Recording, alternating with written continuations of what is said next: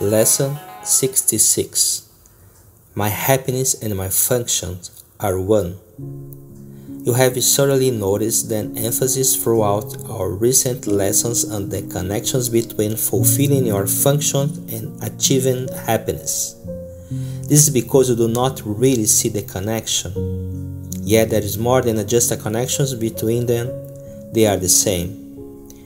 Their forms are different, but their content is completely one. The ego does constant battle with the Holy Spirit on the fundamental questions of what your function is. So, does it do constant battle with the Holy Spirit about what your happiness is? It is not a two way battle. The ego attacks and the Holy Spirit does not respond. He knows what your function is.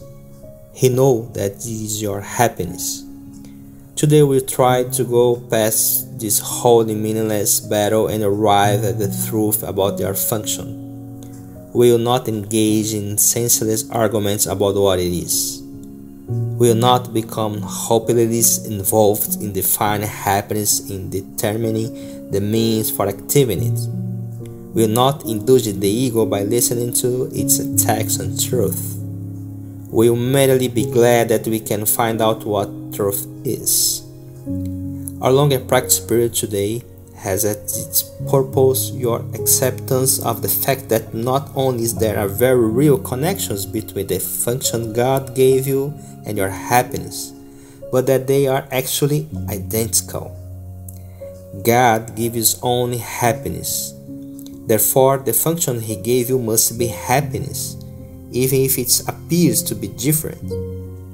Today's exercise are an attempt to go beyond this difference in appearance and recognize a common content where it exists in truth. Begin the 10 to 15 minute practice period by reviewing the thoughts. God gave me his only happiness. He has given my function to me. Therefore, my function must be happiness.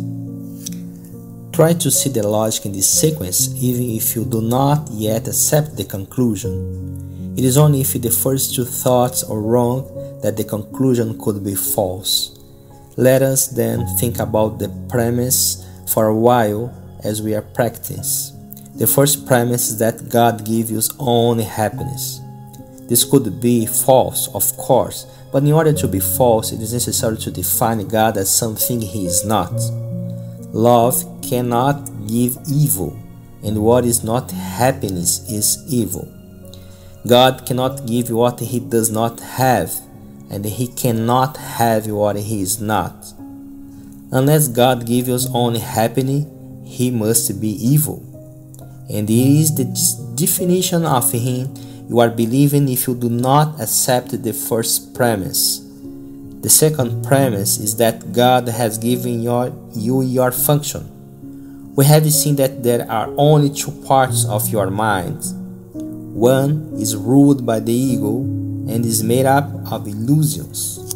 The other is the home of the Holy Spirit where truth abides. There are no other guides but these to choose between, and no other outcomes possible as a result of your choice but the fear the ego always engenders and the love that the Holy Spirit always offers to replace. Thus, it must be that your function is established by God through His voice, or is made by the ego which you have made to replace Him. Which is true. Unless God gave your function to you, it must be the gift of the ego. Does the ego really have gifts to give, be itself an illusion and offering only the illusion of gifts? Think about this during the longer practice period today. Think also about the many forms the illusions of your function has taken your mind and the many ways in which you try to find salvation under the ego's guidance. Did you find it? Were you happy? Did they bring you peace? We need great honesty today. Remember the outcomes fairly and consider also whether it was ever reasonable to expect happiness from anything the ego over proposed. Yet the ego is the only alternative to the Holy Spirit voice. You, you will listen to madness or hear the truth. Try to make this choice as you think about the premise on which our conclusion rests. We can share in these conclusions, but in no other. For God Himself shall rest with us.